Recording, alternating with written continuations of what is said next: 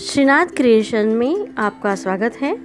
अगर आपको मेरी रेसिपी पसंद आए तो चैनल को लाइक शेयर और सब्सक्राइब कीजिए और न्यू नोटिफिकेशन के लिए बेल आइकन दबाइए। हेलो फ्रेंड्स आज हम तुरई पात्रा की सब्ज़ी बनाने वाले हैं। ये बनाने के लिए सबसे पहले हमें 500 ग्राम जितनी तुरई लेनी है।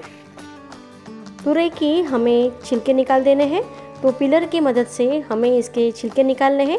तुरई हमेशा आपको ध्यान में रखना है, एकदम फ्रेश लेना है। एकदम हरा वाला और फ्रेश रहेगा तो आपकी सब्ज़ी बहुत ही अच्छी बनेगी। और ये तुरई की स्किन हमें पूरी नहीं निकालनी है। ऊपर ऊपर से उसका जो थीक पार्ट है, वही हमें निकाल देना है। ये देखिए, हमें ऐसा ही पूरा लेयर निकालना है और फिर इसे हमें डिज़ाइन शेप में कट करना है। तुरई को आप स्क्वेयर या फिर स्लाइस शेप में भी कट कर सकते हैं। ग्रीन पीस हमें वन फोर्थ कप लेना है। अब हमें ये सब्ज़ी बनाने के लिए सबसे पहले ग्रीन पेस्ट बनानी है तो इसके लिए थ्री टू फोर गार्लिक लिए हैं। अगर आप गार्लिक नहीं खाते हैं तो स्किप कर दें। ग्रीन चिली मैंने फोर टू फाइव ली है, ये आप आपके हिसाब से कम ज़्यादा ले सकते हैं। और वन इंच जितना जिंजर डालना है।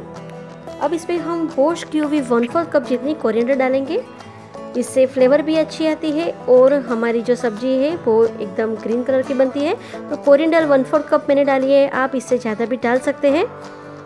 अब इसमें हम टू टेबलस्पून जितनी ड्राई कोकोनट पाउडर डालेंगे।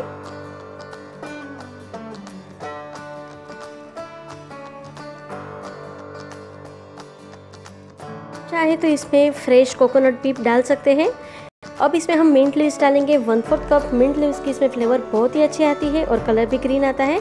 अब इसमें हम वाटर डालेंगे। थोड़ा सा पानी डालना है। इसकी पेस्ट बनाने के लिए हमें जितना ज़रूरी है उतना ही पानी डालना है और इसकी एकदम फाइन और बारीक पेस्ट बनानी है।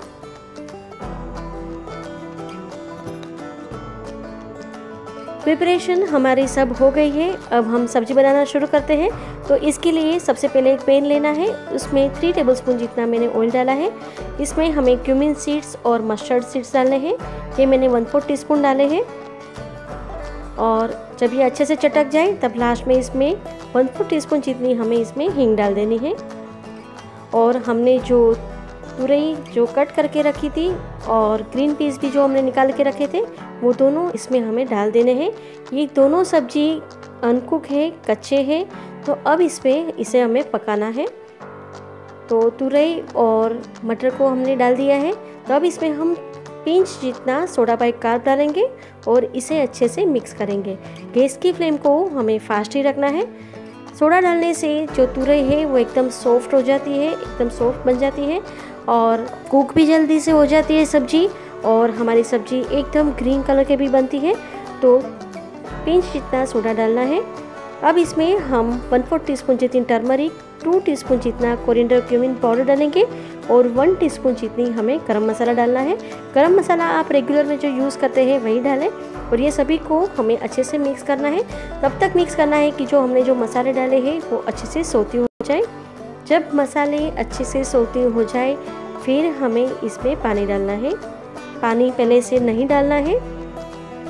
अब इसमें हम पानी डालेंगे, लेकिन उतना ही पानी डालना है जितने पानी में हमारी जो तुरई है, वो अच्छे से कुक हो जाए।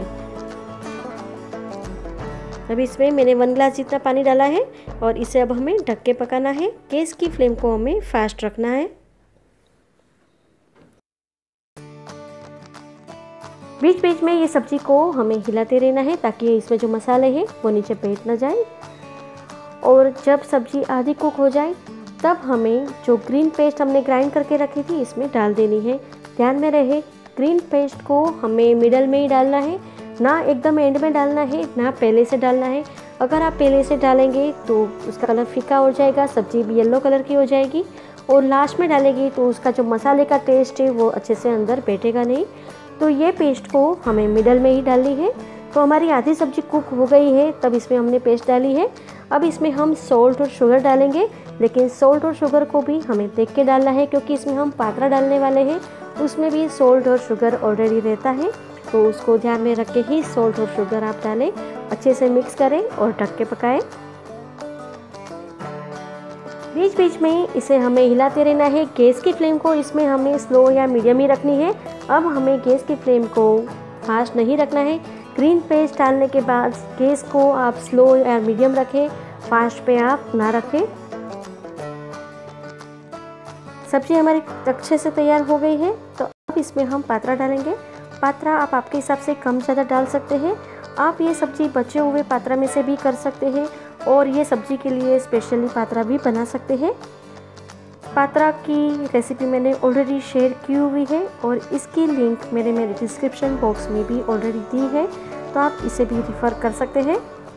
और ये सभी को हमें अच्छे से मिक्स करना है और स्लो गैस पे इसे ढक के पकाना है, ताकि इसमें जो रसा या ग्रेवी है, वो पात्रा के अंदर अच्छे से एब्जॉर्ब हो जाए। गैस की फ्लेम को स्लो रखना है। टू फोर मिनट के बाद हम चेक करते हैं। देखिए फ्रेंड गैस की फ्लेम भी हमने स्लो रखी है और जो इसमें जो ग्रेवी थी, जो रसा था, वो और पात्रा दोनों एक दूसरे में अच्छे से मर्ज हो गए हैं। पात्रा ने उसकी जो ग्रेवी है, उसे अच्छे से एब्जॉर्ब कर लिया है। और अब इसमें हम लास्ट में कोरिएंडर डालेंगे और एक बार लास्ट टर्न करेंगे और हमारी सब्ज़ी तैयार है। पूरी सब्ज़ी हो जाने के बाद लास्ट में इसमें वन टीस्पून जितना प्योर देसी घी डालना है, ध्यान में रहे ये ऑप्शनल है, लेकिन इससे इसकी फ्लेवर और शाइनिंग दोनों बढ़ जाती है और इसे एकदम हल्के से करना है, क्योंकि सब्ज़ी हमारी ऑलरेडी कुक हो गई है, ज़्यादा एकदम करेंगे तो हमारे पात्रे हैं, वो एकदम छूटे पड़ जाएँगे। तो ये इसे अच्छे से स्टर करके अब इसे हमें गर्मा गर्म सर्व करना है। तो ये सब्ज़ी हमारी एकदम रेडी है, आप इसे पार्टी में या फेस्टिवल में कहीं भी आप सर्व कर सकते हैं। ये हमारी गुजराती ऊंजिया जैसी ही लगती है रेसिपी देखिए फ्रेंड्स हमारी सब्ज़ी तैयार है और इसे हमें गर्मा गर्म सर्व करना है। देखिए फ्रेंड्स जितनी दिखने में सुंदर है टेस्ट में भी इतनी ही अच्छी बनी है। और ये तुरिया है, ये बारह मास मिलता है। तो ऊंधिया हम सिर्फ़ विंटर में बना सकते हैं, लेकिन ये सब्ज़ी को आप पूरे साल भर कभी भी आप बना सकते हैं। तो आप इसे आप ज़रूर ट्राई कीजिए। इसे हमें फ्रेश कोरिएंडर और ड्राई कोकोनट पाउडर से गार्निश करना है और इसे गर्मा गर्म सर्व करना है। ये सब्ज़ी आप ज़रूर ट्राई कीजिए, ये टेस्ट में बहुत ही अच्छी बनी है।